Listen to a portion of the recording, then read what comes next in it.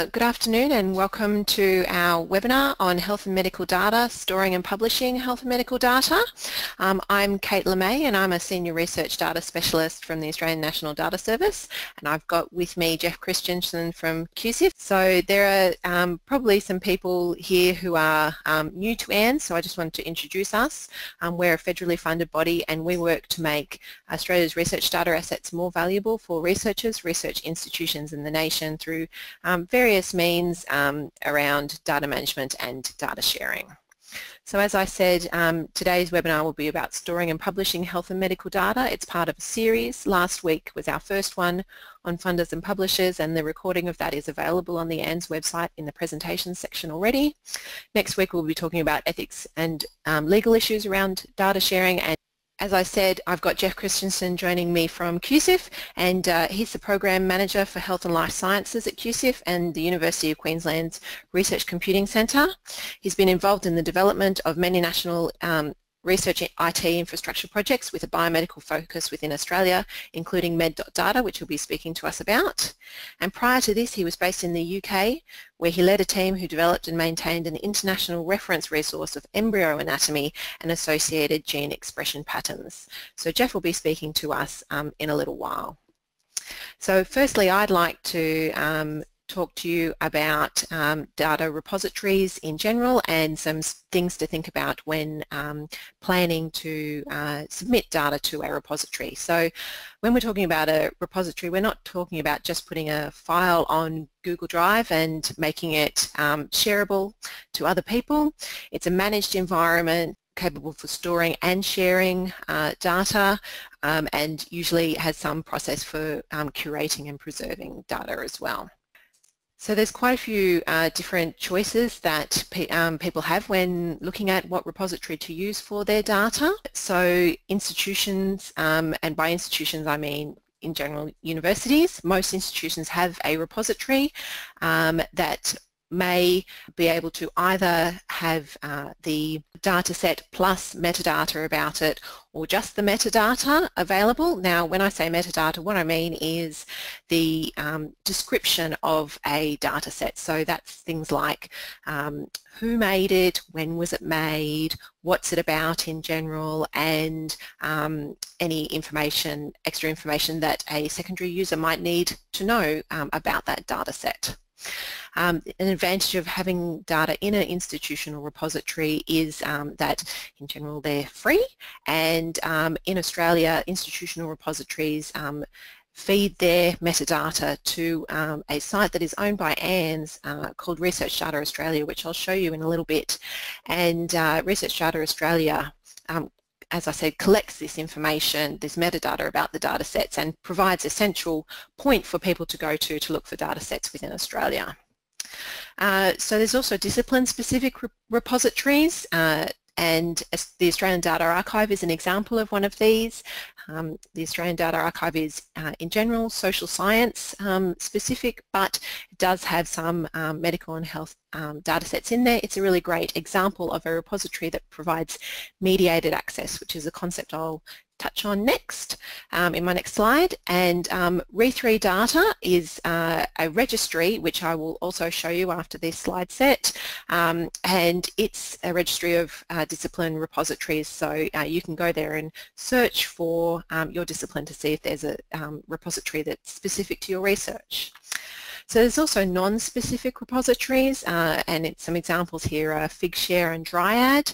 Um, these repositories uh, don't have um, specific types of data in there, they're quite general and um, they can, um, in the case of Figshare, they can hold uh, things other than data like um, papers, presentations, uh, posters, other things like that, grey literature. So some of the things that um, a researcher might want to think about when they're looking at which uh, repository they want to deposit um, their data into are um, if they're being mandated or recommended a repository from say a funder or a journal that they're publishing in um, and I would uh, suggest in this case to check if it is a mandate or just a recommendation and to um, look into whether uh, you're actually required to put it there. Um, an example is if you uh, look at last week's uh, webinar, Wiley was speaking about that they have a deal with Figshare when you deposit data. You can deposit data into Figshare when you're putting a paper into a Wiley journal, um, but they're not mandating that, so they're um, repository agnostic. Uh, there are also discipline conventions, so an example of this is genomics. There's um, quite uh, well-established discipline um, conventions in that area. Um, also some considerations might be if you're going to be able to publish the metadata and the data in the same place. Um, so as I said, some uh, institutional repositories have at this point the capacity for publishing metadata but maybe not holding the data and then um, what, where will you put that data, what will you do about that?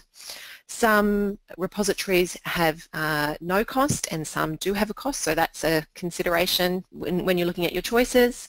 Uh, this concept of mediated access that I um, mentioned when I was talking about the Australian Data Archive, uh, this means that uh, you can have the description, the metadata of your data available publicly. It's findable. Um, it's um, searchable, it's referenceable, uh, but the data itself is not available for public download. Uh, so in this case, um, the access is mediated through some sort of means so that only, say, a legitimate researcher with a research question that can be answered by use of your data set um, is able to access this data. This can be done at a repository level with somewhere like the Australian Data Archive. It can be done at a researcher level, so I'll show you an example on Research Data Australia of um, a research uh, data set that uh, has mediated access through the researcher. Um, and another thing to consider is whether that repository allocates DOIs to data sets. So um, most people would be uh, familiar with DOIs, digital object identifiers from papers um, being assigned them. Uh, if dataset is allocated a DOI, it can be cited in a reference list and that citation can be tracked in the same way as DOI citations are tracked for papers. So um, that's an advantage um, for the researcher if that is assigned to your dataset. So I'd like to show you now um, a few websites that I mentioned. So one of this was Research Data Australia.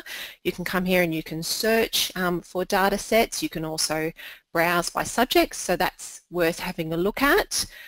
Here is the example of a um, medical and health related data set on Research Data Australia um, that has mediated access. Under this access conditions on the left hand side it says to contact them to um, gain access to that data set. So it's got all the metadata that I was discussing earlier uh, but that access is through the researcher and the secondary user would be, have to also have ethical approval for getting that data set.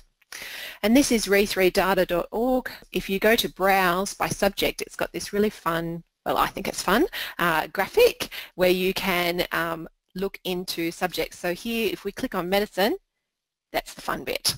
Um, it pops up and you can look further into it um, to see if there's a, a repository that is related to your discipline.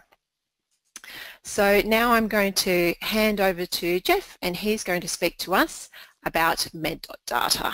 Thanks very much for the invitation, Kate. Um, it's a pleasure to be able to talk to the group today. Um, what I'm going to talk about is an infrastructure project called med.data.edu.au, which we sometimes um, call med.data just to shorten. And, and this is a, a cloud-based um, data storage, computing and sharing um, system uh, for health and medical researchers in Australia. So last week at the, um, the ANDS webinar, we heard from um, uh, Wee Minh Boon, and he reminded me about um, putting things in the context of the research life cycle. And this is a, an, an image of the um, uh, research life cycle from the NHMRC statement on data sharing. And um, this covers everything from at the beginning, I guess, applying for funding and ethics approval, and then commencing research, undertaking research, and then disseminating the results. And what is apparent, um, I guess, these days, in particularly since data, a lot of data has been born digital, is that data is, um, and digital data is central to this life cycle. So when one is um, attempting, I guess, to wrangle uh, all of these uh, data resources, uh, there's a number of items of infrastructure that you need in place. So uh, when one is um, collecting data, we obviously need to store it somewhere, and that may be on a shared system, it may be on a laptop, it may be in, in various places. Um, also when we store it we need to manage it, so we need to organize it. So this is putting it into directories that, that mean something and also um, uh, attaching metadata, so information about the data to make it useful. And I guess there's two, two levels of metadata which can be uh, uh, thought of and one is a collection level, so this particular data set or folder over here contains information associated with research project X.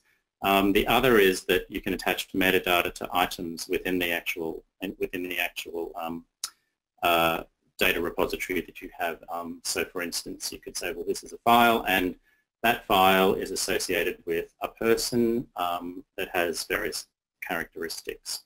The other aspect of management that's worth thinking about is sharing it with collaborators during the life, during the life cycle. So those collaborators may be people within your own lab or they may be within the same institution, um, but they could very well be international, based internationally. So having a system that allows you to easily uh, manage and share data is, is, is, is really um, central to undertaking research. Um, obviously, uh, data by itself is not particularly useful unless it's subjected to some kind of analysis. So there's a plethora of analysis tools that one can apply to data. Um, they might be commercial, they might be open source. Um, and analysis tools all need compute power to be able to run. So um, again, this computing power may be offered through something like a, a desktop machine or a laptop. Um, institutions may offer computational resources. Um, there are cloud providers. I'll talk a little bit about a national research cloud here in Australia that's, um, that's come about through the Nectar uh, project. And then there's also high performance computing facilities. So these are, these are really for doing uh, uh, number crunching on, on very large data sets or on data sets that require uh, a lot of computation in a parallel fashion. And then once the analysis has been done and um, the, the results have been gleaned, um, it's important to be able to disseminate the results. And Kate was just talking about a number of great repositories there, I guess, uh, such as Dryad and Figshare, which are really, really useful um, as data repositories to disseminate results um, and data associated with results from a research project.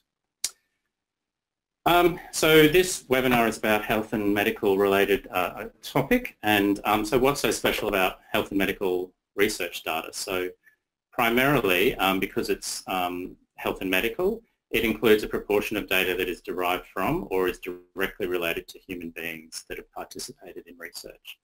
Um, within those within those data, um, single human be beings may also be individually identifiable. Um, I'll just point out that the, the um, term individually identifiable is used in the national MA, the NHMRC National Statement on Ethical Conduct in Human Research, um, and it, it defines um, three levels of, of identifiability, one of which is individually identifiable.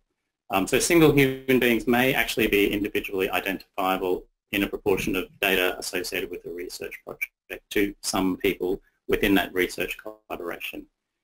So if um, the data is individually identifiable and it also contains information about a person's health or their genetic information or any biometric information, um, it's also considered to be sensitive um, and that's defined by the Privacy Act, the Commonwealth Privacy Act. Um, and if data is sensitive, um, it carries legal and ethical responsibilities in ensuring that the information um, is not intentionally or inadvertently disclosed to non-authorized individuals. Um, so when conducting research, effectively everybody has a shared ethical, everybody um, related to that research has a shared ethical responsibility to ensure that harm doesn't come to any research participant through unauthorized release of identifiable data. As I said, that may be non-intentionally. Someone might accidentally give access to someone or give access to someone and then um, they uh, shouldn't have done that and then so there's issues there. Or the other one is um, uh, through things like um, hacking of systems and various things like that, which I guess is fairly topical at the moment. Um, so when one is uh, considering using uh, health and medical research data, especially if that data is going to be um, identifiable, um, a process of risk management is required. So, you know, we have to be able to store that information and use it and share it with uh, collaborators, but it, it's, it's imperative that that is done in a suitably safe manner. Um, med.data is effectively data infrastructure operate, uh, a data infrastructure. And as operators of data infrastructure, we have a duty to um, data custodians of, of a particular data set and also researchers using that data set to demonstrate that we have appropriate levels of maturity and discipline in information security practice to be able to store human-derived research data. And we also have to have a repertoire of, of, of, safeguards in place to assure custodians of the security of the information when it's held on systems like this. So they may be administrative, um, so for instance policies, they may be physical, so do we use um, appropriate, um, appropriately secure data centers? And then there's also a plethora of technical um, safeguards that one can apply to data um, infrastructure in this space. Uh, so what is med.data? So effectively we're nationally funded data infrastructure for health and medical research data. Um, we've received NCRIS, so that's National Collaborative um, Research Infrastructure Scheme funding, uh, through two projects, the RDSI, which was Research Data Storage Infrastructure, and the Research Data Services projects. So interestingly, um, on the NHMRC statement on data sharing, um, this is alluded to. So um, Kate mentioned a little bit of the infrastructure within this may be provided um, from an institution. Um, also Dryad that gets a mention there, but there's also established, established networks and, and projects across the country that have been nationally funded, including research data storage infrastructure.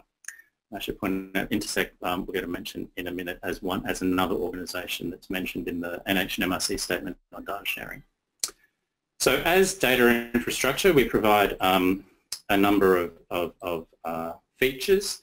So one is cloud storage for um, health and medical research data. So um, this is, um, I guess, uh, set in a number of uh, uh, data centers around the country, and I'll talk to that. It's networked um, over the AARNet um, high-speed uh, research network backbone. Um, we have data management tools that can be associated with the data storage. So uh, MediaFlux and MyTardis are excellent um, uh, tools that provide um, data structuring and also attachment of uh, metadata to particular um, items within, within collections and also some other uh, features such as encryption.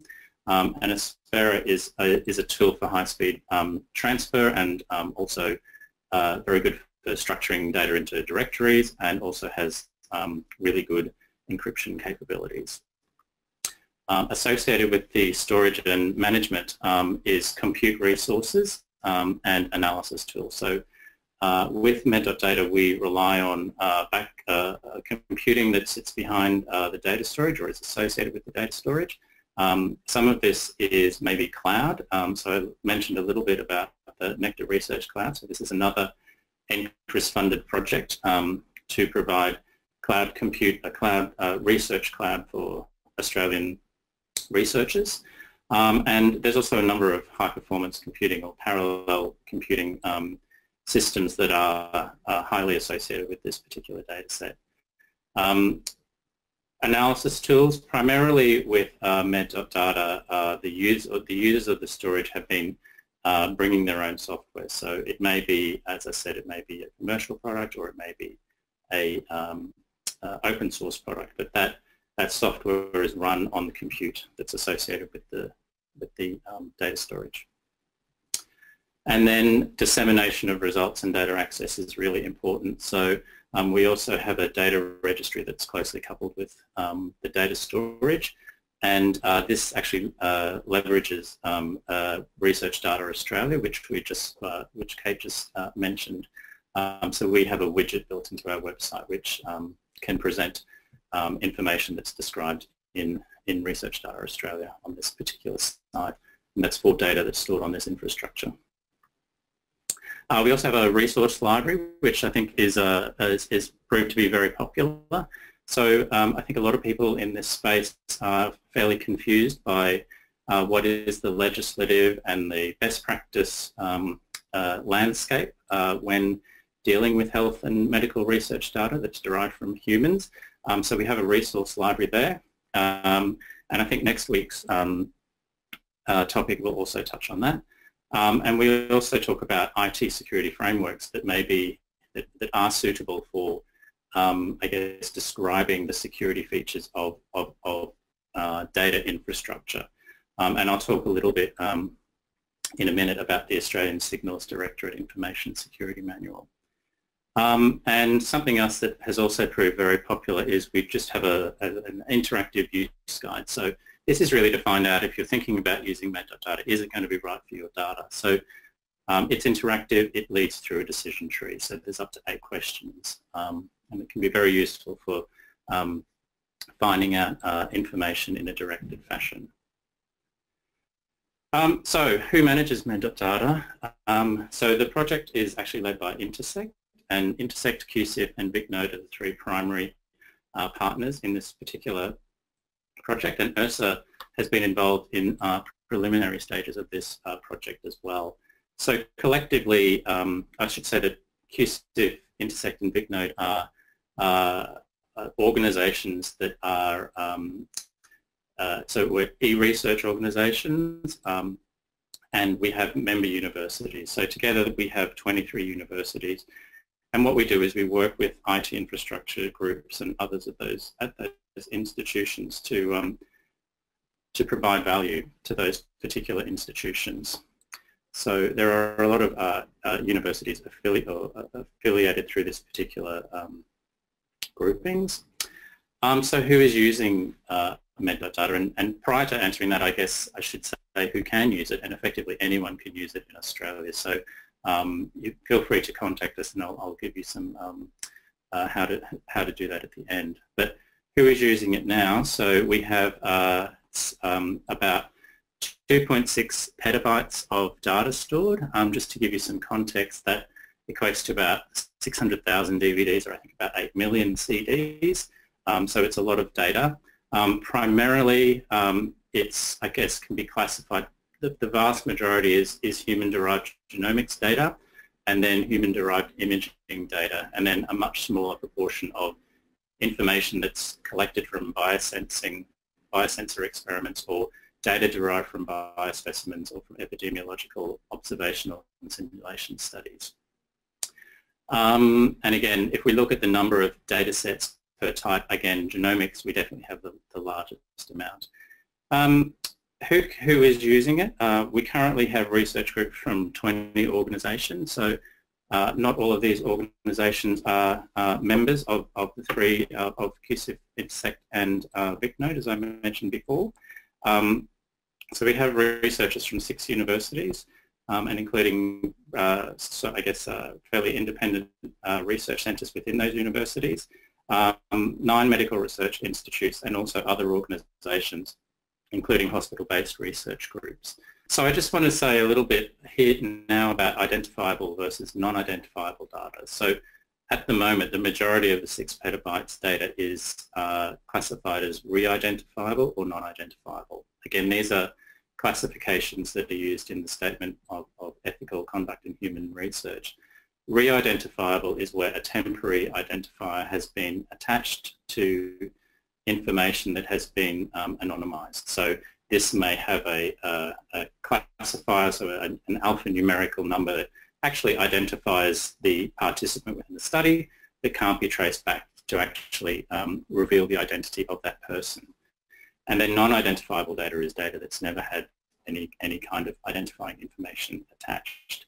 Um, I guess the reason why uh, most of this is currently re-identifiable or non-identifiable is that a lot of the uh, researchers that are using Med.Data are actually given access to data sets that have already been um, de-identified by third parties.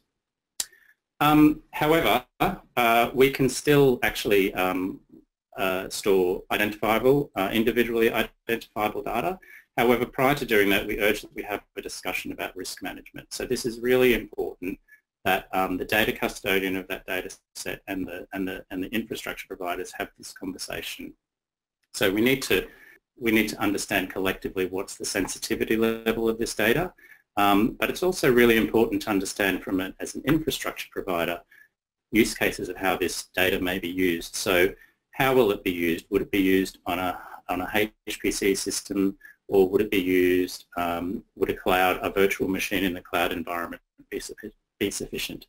It's also really important to understand where are the users. Are they based within a university or maybe they're based in a medical research institute or maybe they're based overseas. So it's, it's also really important for us to be able to understand that um, to, uh, to have a better idea of how the data can be um, housed and protected and also yes, by who. So um, again, are, are all the people within one research group or are they, or are they across others? So this, as I said, dictates the specifics of the uh, IT security setup.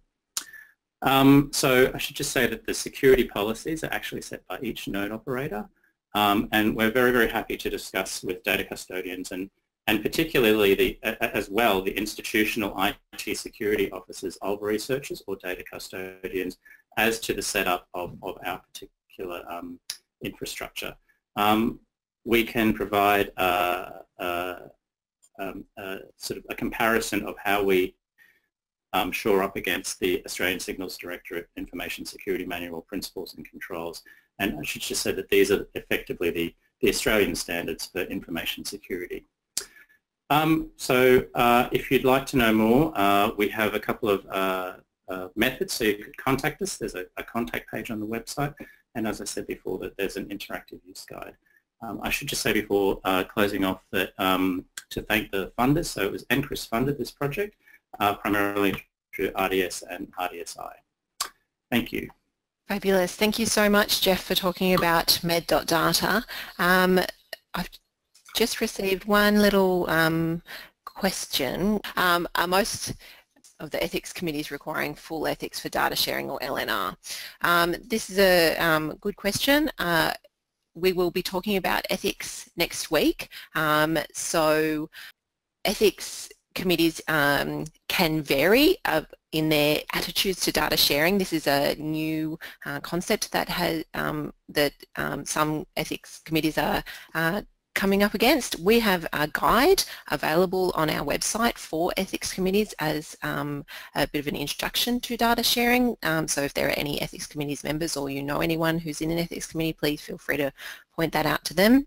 Um, but in general, uh, if information is identifiable, um, you definitely have to have the consent of the participant participants to be able to share data. Um, if the data is non-identifiable, it doesn't fall under the Privacy Act and um, can be uh, shared. Um, however, there are other aspects um, that ethics committees may consider. So um, it, it's, it's a bit of a it depends answer. Jeff, do you have anything uh, to add to that?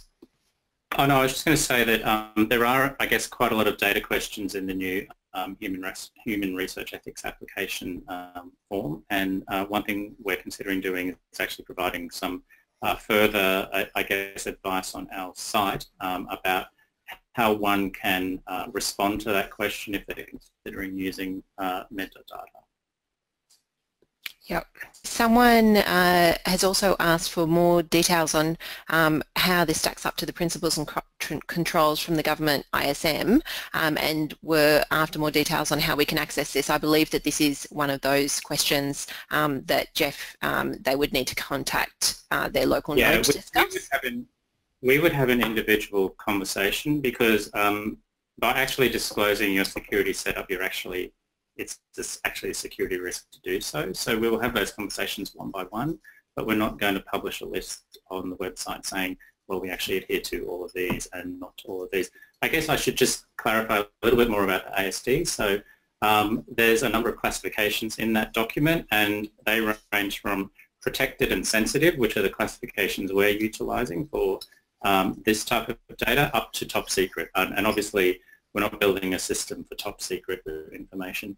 A lot of it uh, comes back to policies and um, for us it's that we, we, each of the nodes have security policies and information security policies um, and within that again it's, it's really important that we clarify roles and responsibilities. So we, we effectively provide a secure container for the, for the data and we want our, uh, the people that are using our systems to effectively use that secure container in a responsible manner. So it's definitely a shared thing. But um, please uh, contact us through the website, um, and we can we can have a discussion about how we how we uh, stack up against those controls. Yep, Absolutely. And there was just one little uh, last question. Someone asked what about re-identifiable data. So when we were talking about um, non-identifiable um, and identifiable uh, in that question about ethics, um, for me, uh, re-identifiable data, um, if it's, my understanding is if it's separated from the key that can re-identify it, um, then the data set that has, does not have any of the identifiers in it um, is shareable. But again, uh, best to, always best yeah. to get consent. And, and, and, we also have some advice. So we have one of our guide in the resource sections on uh, anonymisation and there's actually no Australian uh, specific guidance about how to generate those keys, but um, uh, the uh, US um, HIPAA Act, the um, Health Insurance Privacy Portability Act, um, has some really good tips, I guess, on yes. how to generate um, these types of identifiers. And basically, it shouldn't be derived from anything that was ever associated with that person. Yes. Another tip that's covered on on that page is also, and and the ASD, I think, does provide the guidance from memory, is that the identifying information should never be stored on the same system as the keys. Um, the keys should be stored somewhere else and also encrypted. Yep, absolutely. Um, and just one last thing to say about de-identification. ANDS also has a guide about de-identification on our website and um, it points off to a lot of um, uh, international and national guidance about um, these that process that you can go through. And um, these terms, identifiable, re-identifiable and non-identifiable, as Jeff said, they're in the National Statement on Ethical Conduct in Human Research and um, that that statement is currently undergoing review. Um, who knows how long these government processes take, but um, that quest, that those three um, uh, identifiers, those three terms are um, currently under um, the terms of the review. So um, we'll keep our eye on whether they um, continue being the terms, but that's just something to uh, note for the future. So I'd just like to thank Jeff very much for speaking to us about med.data. Thank everyone for coming in today.